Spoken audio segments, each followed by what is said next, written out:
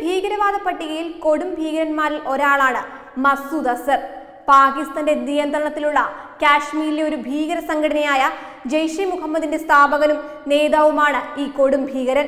പാകിസ്ഥാനിലെ പഞ്ചാബിൽ ആയിരത്തി തൊള്ളായിരത്തി അറുപത്തിയെട്ട് ജൂലൈ പത്തിന് ജനിച്ച മസൂദ് അസർ കറാച്ചിയിൽ പഠനം നടത്തിയ ശേഷം ഹർക്കത്തുൽ അൻസറുമായി ബന്ധപ്പെട്ടു. പിന്നീട് ഇതിന്റെ നേതാവായ അസർ ആളെ കൂട്ടുവാനും പണം ശേഖരിക്കുവാനും Zambia Abu Dhabi Saudi Arabia Mongolia England Albania എന്നിവിടങ്ങളിലെല്ലാം സന്ദർശനം നടത്തി. ആയിരത്തി തൊള്ളായിരത്തി തൊണ്ണൂറ്റി മൂന്നിൽ കെനിയയിലെ നൈറോബിയിലേക്ക് അൽ ഖൈദയുമായി ബന്ധമുള്ള സൊമാലി സംഘടനയായ അൽ ഇതിഹാദ് അൽ ഇസ്ലാമിയയുടെ നേതാക്കളെ കാണാൻ പോയതായി അസദ് സമ്മതിച്ചിരുന്നു. അവർ ഹർക്കത്തുൽ മുജാഹിദീനോട് ആളും അർത്ഥവും അഭ്യർത്ഥിച്ചിരുന്നു.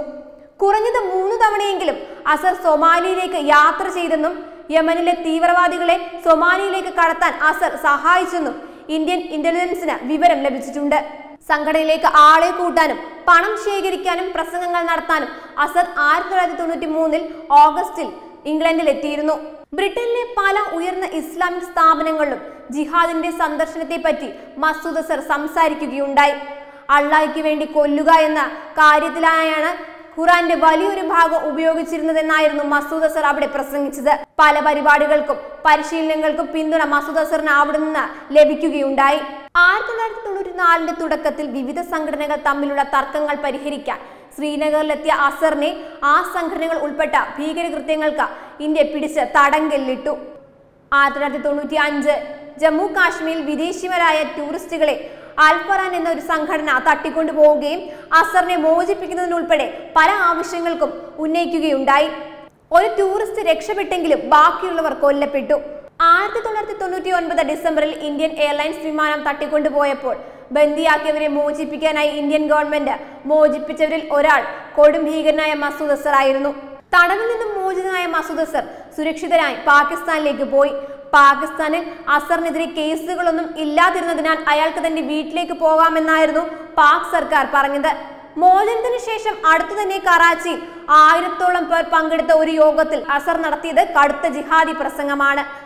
ഞാൻ ഇവിടെ വന്നിരിക്കുന്നത് ഇന്ത്യയെ നശിപ്പിക്കുന്നതുവരെ നമ്മൾ വിശ്രമിക്കരുതെന്ന് നിങ്ങൾ മുസ്ലിങ്ങളോട് പറയാനുള്ള ഉത്തരവാദിത്തം ഉള്ളതുകൊണ്ടാണ് എന്നായിരുന്നു മസൂദ് അസറിന്റെ പ്രസംഗം. ഇന്ത്യൻ ഭരണത്തിൽ നിന്നും കാശ്മീരിനെ മോചിപ്പിക്കുമെന്നും കൊടും ഭീകരൻ മസൂദ് അസർ ആ യോഗത്തിൽ പറയുകയുണ്ടായി. തുടർച്ചയായി രാജ്യദ്രോഹ പ്രവർത്തികൾ ചെയ്ത് ഇന്ത്യയെ പ്രകോപിപ്പിക്കുകയായിരുന്നു അപ്പോഴും മസൂദ് അസറിന്റെ നേതൃത്വത്തിലുള്ള ജെയ്ഷെ മുഹമ്മദ്. അതിൽ ഒന്നായിരുന്നു രണ്ടായിരത്തി ഒന്നിലെ ഇന്ത്യൻ പാർലമെന്റ് ആക്രമണം. ഇതേ തുടർന്ന് ഇന്ത്യയും പാകിസ്ഥാനും ഒരു യുദ്ധത്തിന്റെ വക്കോളം എത്തിയിരുന്നു. ഒരിക്കലും കുറ്റം ആരോപിക്കാതെയാണെങ്കിലും ഈ സംഭവത്തെ തുടർന്ന് മസൂദ് അസറിനെ പാകിസ്ഥാൻ ഒരു കൊല്ലത്തോളം വീട്ടുതടങ്കലിലാക്കിയിരുന്നു. രണ്ടായിരത്തി രണ്ട് ഡിസംബർ പതിനാലിന് ആളെ മോചിപ്പിക്കാൻ ലാഹോർ കോടതി നൽകിയ ഉത്തരവ് ഇന്ത്യയെ പ്രകോപിപ്പിച്ചു. പുൽവാമ ഭീകരാക്രമണത്തിന് പിന്നിലുള്ള ഭീകര സംഘടനയായ ജെയ്ഷെ മുഹമ്മദിന്റെ സ്ഥാപകൻ മസൂദ് അസർ തങ്ങളുടെ രാജ്യത്തിലുണ്ടെന്ന് അന്താരാഷ്ട്ര മാധ്യമമായ സി എൻ നൽകിയ അഭിമുഖത്തിൽ പാക് വിദേശകാര്യമന്ത്രി ഷാ മുഹമ്മദ് ഖുറേഷി സമ്മതിച്ചിരുന്നു. മസൂദ് അസർ പാകിസ്ഥാനിലുണ്ടെന്ന് ഇന്ത്യ പലതവണ ചൂണ്ടിക്കാട്ടിയെങ്കിലും ആദ്യമായിട്ടായിരുന്നു പാകിസ്ഥാൻ ഇക്കാര്യം ഔദ്യോഗികമായി സ്ഥിരീകരിച്ചത്. എനിക്ക് അറിവുള്ള വിവരങ്ങളുടെ അടിസ്ഥാനത്തിൽ അസർ പാകിസ്ഥാനിൽ തന്നെയുണ്ട്. വീട്ടിൽ നിന്ന് പുറത്തിറങ്ങാൻ പോലും കഴിയാത്ത വിധം രോഗബാധിതനാണ് അയാൾ. ഇക്കാര്യങ്ങളാണ് അയാളെക്കുറിച്ച് എനിക്ക് നൽകാൻ കഴിയുകയെന്ന് ആയിരുന്നു പാക് വിദേശകാര്യമന്ത്രി ഖുറേഷിയുടെ പ്രതികരണം. രോഗിയാണെങ്കിൽ പോലും വിവിധ ഭീകരാക്രമണങ്ങളിൽ അസറിന് പങ്കുണ്ടെന്ന ഇന്ത്യയുടെ ആരോപണത്തിന്റെ അടിസ്ഥാനത്തിൽ അയാളെ അറസ്റ്റ് ചെയ്യാത്തത് എന്തെന്ന ചോദ്യത്തിന് ഇന്ത്യ തെളിവ് നൽകണമെന്ന മറുപടിയാണ് ഖുറേഷി ആവർത്തിച്ചത്. പാക് കോടതികൾക്ക് ബോധ്യമാകുന്ന തെളിവുകൾ ഇന്ത്യ നൽകിയാലേ അസറിനെ അറസ്റ്റ് ചെയ്യുന്നതിനെ കുറിച്ച് ആലോചിക്കാനാവൂ. അയാൾക്കെതിരെ ശക്തമായ തെളിവുകളുണ്ടെങ്കിൽ ഇന്ത്യ പാകിസ്ഥാന് കൈമാറണം. എങ്കിലേ പാക് ജനതയെയും പാകിസ്ഥാനിലെ സ്വതന്ത്രമായ നീതിന്യായ വ്യവസ്ഥയെയും കാര്യം ബോധ്യപ്പെടുത്താനാകുമെന്നും ഖുറേഷി സി എന്നോട് പറഞ്ഞിരുന്നു. പുൽവാമ ആക്രമണത്തിന് പുറമെ രണ്ടായിരത്തി ഒന്നിലെ പാർലമെന്റ് ആക്രമണം രണ്ടായിരത്തി പതിനാറിലെ പഠാൻകോട്ട് ആക്രമണം രണ്ടായിരത്തി പതിനാറിലെ ഉറി ഭീകരാക്രമണം എന്നിവയ്ക്ക് പിന്നിലും മസൂദ് അസറിന്റെ ജെയ്ഷെ മുഹമ്മദ് എന്ന ഭീകര സംഘടനയായിരുന്നു. മസൂദ് അസറിനെ ആഗോള ഭീകരനായി പ്രഖ്യാപിക്കാനുള്ള ലോകരാഷ്ട്രങ്ങളുടെ ആവശ്യം ചൈന ആവർത്തിച്ച് നിരസിച്ചതിന്റെ കാരണം ആ രാജ്യത്തിന്റെ പാകിസ്ഥാനുള്ള സാമ്പത്തിക താല്പര്യം തന്നെയായിരുന്നുവെന്ന് യു എസ് വിദഗ്ധരുടെ നിരീക്ഷണം.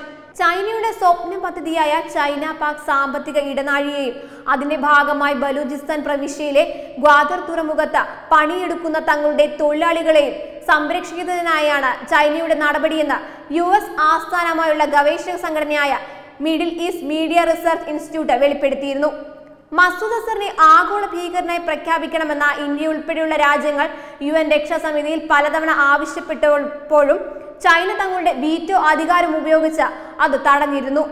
ലോകരാഷ്ട്രങ്ങൾ അന്വേഷിക്കുന്ന ഈ കൊടും ഭീകരന് പാകിസ്ഥാനിൽ സർവ സൗകര്യങ്ങളും ഒരുക്കി നൽകുകയാണ് ഇമ്രാൻഖാൻ സർക്കാർ. ലോകത്തെ ഏറ്റവും അപകടകരമായ രാഷ്ട്രമെന്നാണ് പാകിസ്ഥാനെ കുറിച്ച് യു എസ് മുൻ പ്രതിരോധ സെക്രട്ടറി ജെയിംസ് മാറ്റിസന്റെ അഭിപ്രായം.